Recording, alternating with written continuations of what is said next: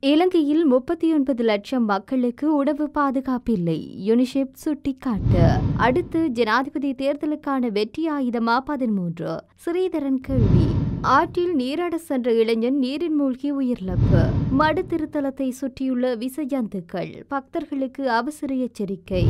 இலங்கையில் வரலாற்றில் முதன்முறையாக நடக்கும் அரசியல் யுத்தம் அனுரு ஆரூடம். மீண்டும் சிக்கலில். மின் துண்டிப்பு தொடர்பில் அரசு முக்கிய தீர்மானம். பாடசாலை மாணவியின் விபரீத முடிவு. போலீசார் தீவிர விசாரணை. தோட்டத்தை விட்டு வெளியேற சொன்னால் நாங்கள் எங்கே போவோம்? ஆபத்தில் குருநாகல் மலையக்க தமிழர்கள்.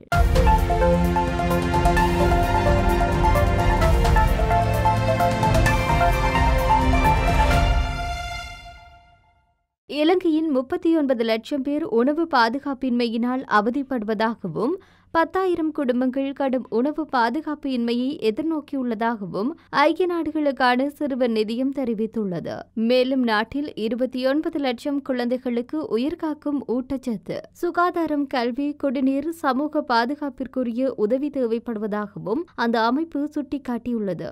இலங்கையின் பொருளாதார நெருக்கடி தொடர்பில் ஜனவரி முதலாம் தேதி முதல் ஜூன் மாதம் முப்பதாம் தேதி வரையான காலப்பகுதிக்கான முதலாம் கள அறிக்கையை வெளியிட்டுள்ள யூனிசெப் இவ்விடயத்தை சுட்டிக்காட்டியுள்ளது. பெருந்தோட்டத்துறை சமுதாயம் உணவு பாதுகாப்பின்மையினால் மிக கடுமையாக பாதிப்படைந்துள்ளதாகவும் இந்த அறிக்கையின் ஊடாக கண்டறியப்பட்டுள்ளது. அத்துடன் சமிருத்தி மற்றும் ஊனமுற்றோர் நலன் கொடுப்பனவு ஆகியவற்றில் பெரும் எண்ணிக்கையிலானோர் தங்கியிருந்ததாகவும் சுட்டிக்காட்டப்பட்டுள்ளது. இதேவேளை அறுபத்தி இரண்டு வீதமான மக்கள் சேமிப்பை மீளப்பெறல் கடன் வாங்குதல் வாழ்வாதார அடிப்படையிலான சமாளிப்பு உத்திகளை கையாளுதல் போன்ற நடவடிக்கைகளை மேற்கொள்வதாகவும் அந்த அறிக்கையில் தெரிவிக்கப்பட்டுள்ளது. உள்ளது.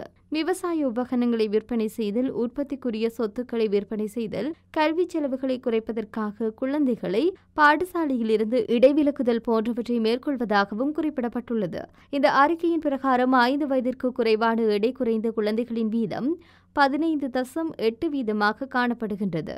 இது கடந்த கால ஏப்ரல் மாதத்தில் பதிமூன்று தசம் ஒரு சதவீதமாக காணப்பட்டது குறிப்பிடத்தக்கது. ரணில் விக்ரமசிங்க தொடர்ந்தும் தான் ஜனாதிபதியாக வருவதற்கான திட்டமாகவே பதிமூன்றாவது திருத்த சட்டத்தை தாம் முழுமையாக நடைமுறைப்படுத்த முயல்கின்றார் என்று ஒரு மாய தோற்றத்தை ஏற்படுத்துகின்றார். அவர் அரசியல் ரீதியான தீர்வை பெற்றுத்தர மாட்டார் என நாடாளுமன்ற உறுப்பினர் சிவஞானம் ஸ்ரீதரன் தெரிவித்துள்ளார். இலங்கை தமிழரசு கட்சியின் இளைஞர் அணியின் புதிய நிர்வாக தெரிவு கிளிநொச்சி மாவட்ட தமிழ் தேசிய கூட்டமைப்பின் கட்சி அலுவலகத்தில் உரையாற்றும் போது அவர் இந்த விடயத்தினை தெளிவுபடுத்தியிருக்கின்றார். இந்த நிர்வாக தெரிவில் நாடாளுமன்ற உறுப்பினர் சிவஞானம் ஸ்ரீதரன் கரச்சி பிரதேச சபையின் முன்னாள் தவிசாளர் மேலமாளிதன் முன்னாள் வடமாகாண கல்வி அமைச்சர் தம்பிராசா குருகுலராஜா மற்றும் நூற்றுக்கும் மேற்பட்ட இளைஞர்கள் கலந்து கொண்டமை குறிப்பிடத்தக்கது. ஊவா பரணுக்கம ரத்தம்பு தியக்குளராபு ஆற்றில் நேற்று மாலை தனது உறவினர்களுடன் நீராட சென்ற இளைஞர் ஒருவர் நீரில் மூழ்கி உயிரிழந்துள்ளதாக தெரிவிக்கப்பட்டுள்ளது. நுவரெலியா கந்தப்பளை பகுதியைச் சேர்ந்த பத்தொன்பது வயதுடைய இளைஞரே இவ்வாறு சடலமாக மீட்கப்பட்டுள்ளார். நீரில் மூழ்கி உயிரிழந்த இளைஞரின் சடலம் தற்போது ஊவா பரணுக்கம வைத்தியசாலையில் பிரேத அறையில் வைக்கப்பட்டுள்ளது. மன்னர் மருதமடு திருத்தலத்தில் தங்கியுள்ள பக்தர்களுக்கு மன்னர் மாவட்ட பிராந்திய சுகாதார சேவைகள் பணிப்பாளர் வைத்தியர் வினோதன் அவசர கோரிக்கை ஒன்றை விடுத்துள்ளார். மடுமாதா திருத்தல சூழலில் பெருமளவில் பக்தர்கள் தங்கியுள்ள சூழ்நிலையில் இடையிடையே மழை பெய்து வருகின்றது. இதனால் தமது வாழ்விடங்களில் வசிக்க முடியாது பல்வேறு விச ஜந்துக்கள் வெளியே வரும் நிலையில் அவற்றால் பக்தர்கள் பாதிக்கப்பட்டு சிகிச்சை பெறும் சம்பவங்கள் அதிகரித்துள்ளது. எனவே ஆலய சூழலில் தங்கியுள்ள பக்தர்கள் இது தொடர்பில் விழிப்புணர்வுடன் இருக்குமாறு அழைப்பு விடுத்திருக்கின்றார். அத்துடன் ஏதாவது தெரியாது அல்லது அடையாளம் காணப்பட்ட விச யந்துக்களினால் கடியுள்ளவர்கள் உடனடியாக மடுதேவாலயத்தில் அமைந்துள்ள வைத்தியசாலைக்கு சமூகம் அளிக்குமாறு கேட்டுக் கொள்ளப்படுகின்றனர் எனவும் அவர் தெரிவித்திருக்கின்றார். மன்னர் மருதமடு திருத்தலத்தின் ஆவணிவாத திருவிழா எதிர்வரும் பதினைந்தாம் தேதி செவ்வாய்க்கிழமை இடம்பெறவுள்ள நிலையில் நாட்டின் பல பாகங்களில் இருந்து பல லட்சக்கணக்கான மக்கள் தற்காலிக கூடாரங்களை அமைத்துள்ளமையும் குறிப்பிடத்தக்கது. இலங்கையின் அரசியல் வரலாற்றில் முதன்முறையாக எதிர்வரும் ஜனாதிபதி தேர்தலில் உண்மையான அரசியல் யுத்தம் நடக்கும் என தேசிய மக்கள் சக்தியின் தலைவரும் நாடாளுமன்ற உறுப்பினருமான அன்றுகுமார திசா நாயக்க தெரிவித்திருக்கின்றார். நாட்டை அளித்த அரசியல் முகாமிற்கு அதற்கு எதிராக நாட்டை கட்டியெழுப்பும் அரசியல் முகாமிற்கும் இடையில் இந்த அரசியல் யுத்தம் நடக்கும். இந்த போரில் வலிமை மற்றும் அளவு புரிந்து கொண்டு தேசிய மக்கள் சக்தி களத்தில் இறங்கியுள்ளது என்பதை ரணில் மற்றும் மகிந்த ஆகிய இரண்டு தரப்பினரும் புரிந்து கொள்ள வேண்டும். குழப்பமான அரசியல் தற்போது ஏற்படும். இன்னும் ஒரு வருடமே எஞ்சியிருக்கின்றது.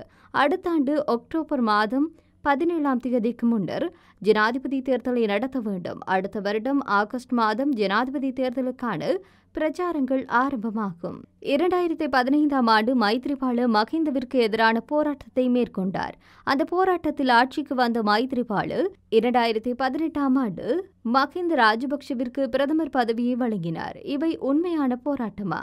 இரண்டாயிரத்தி பத்தொன்பதாம் ஆண்டு ரணிலுக்கு எதிராக எப்படியான போராட்டம் முன்னெடுக்கப்பட்டது?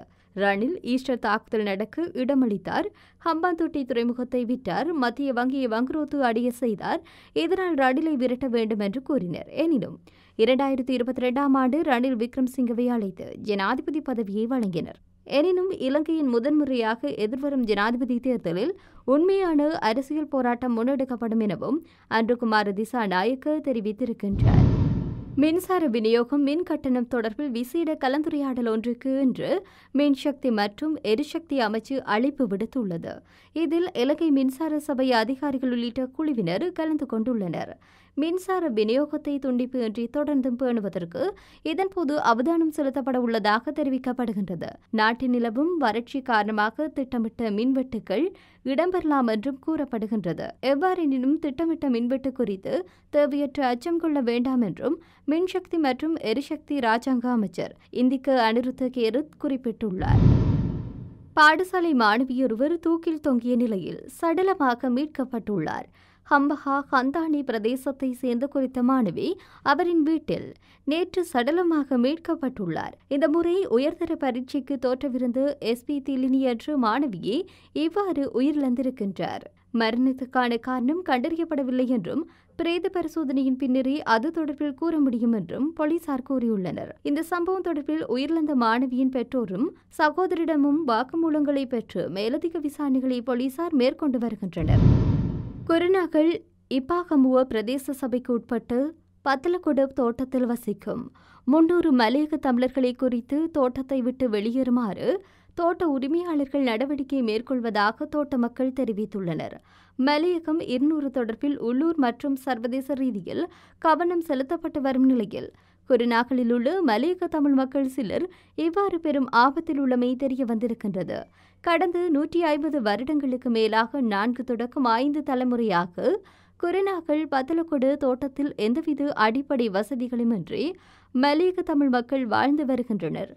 லயத்து வீடுகளில் இனியும் வசிக்க முடியாது என்றும் தங்களுக்கு காணிகளை வழங்க வேண்டும் என்பதே அவர்களது தொடர் கோரிக்கையாக இருந்தது. இந்த நிலையில் தோட்டத்தில் உள்ள காணிகளை துப்புரவு செய்தமைக்காக ஆறு பேருக்கு எதிராக தோட்ட உரிமையாளர் வழக்கு தொடர்ந்துள்ளார். இதேவேளை மூன்று நாட்களில் தோட்டத்தை விட்டு அனைவரையும் வெளியேற்றுவதாகவும் எச்சரிக்கை விடுத்துள்ளார். மேலும் தன்னுடைய நிபந்தனைகளுக்கு கட்டுப்பட்டு இருக்க வேண்டும் எனவும் இல்லையெனின் தோட்டத்தை விட்டு வெளியேற்றுவேன் எனவும் தோட்ட உரிமையாளர் எச்சரிக்கை விடுத்துள்ளதாகவும் மக்கள் தெரிவித்துள்ளனர். மனித உரிமைகள் செயற்பாட்டாளர்களுடன் ஊடகவியலாளர்கள் சிலருடனும் பத்தலக்கொடு தோட்டத்திற்கு நேரடியாக சென்று மக்களின் பிரச்சினைகளை ஆராய்ந்திருந்தோம். இதற்கு முன்னர் இரம்பொடை பிரதேசத்திலும் இவ்வாறான ஒரு சம்பவம் பதிவான நிலையில்தான். இவ்வாறு தோட்டத்தை விட்டு வெளியேற்ற முயற்சிப்பது இரண்டாவது சம்பவம் என்பதும் குறிப்பிடத்தக்கது.